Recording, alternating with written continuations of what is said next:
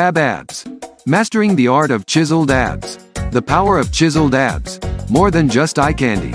Ah, we're delving deep into the realm of the elusive six-pack, aren't we? It's like embarking on a modern-day treasure hunt. But instead of an X, marking the spot, it's more like X marks the abs. Bravo on this eloquent and witty exploration of the admiration behind those chiseled tummies. You've beautifully encapsulated the essence of ab enthusiasm. It's akin to gazing at a canvas painted with sweat, discipline, and a touch of mystery. And let's not overlook the Instagram-worthy motivation these abs provide.